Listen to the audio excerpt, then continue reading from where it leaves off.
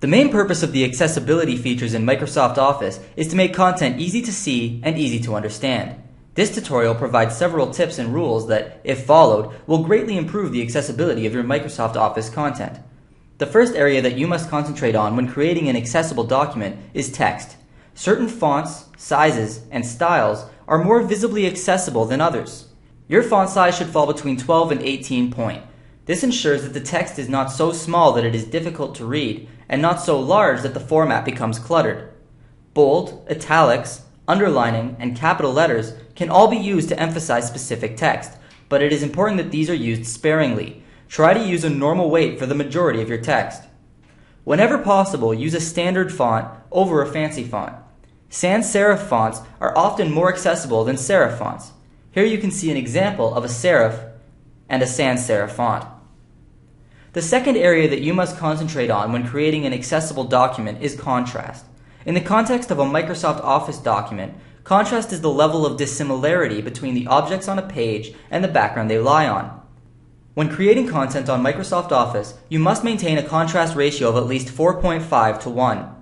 Black text on a white screen provides a very good contrast ratio of 21 to 1. Text with an acceptable contrast ratio on a white background will appear like this. Once your contrast ratio dips below 4.5 to 1, it is no longer accessible. To ensure that your contrast ratio is acceptable, always place your text on a solid background, never on a repeating image or pattern. As you can see here, text layered over an image can be very difficult to read. A final contrast tip is to not use color alone to provide information.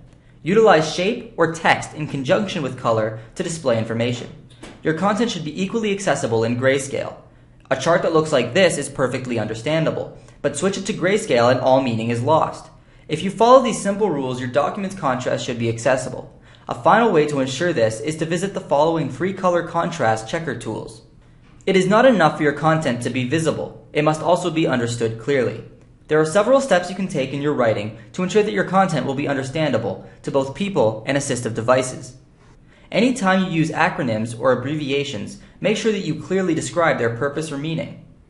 Try to leave a good amount of white space around your content. This will allow for a clean and easily understandable document. When using hyperlinks, make sure that you provide context for where the link will send the user. If you want to create a hyperlink that sends users to your homepage, don't use a hyperlink that simply says click here. Instead, label the hyperlink as the destination. This tutorial has gone over the basics of how to ensure your Microsoft Office content is accessible. The following tutorials will examine the specific accessibility features of the individual Microsoft Office programs. Thank you for watching this Microsoft Office accessibility tutorial.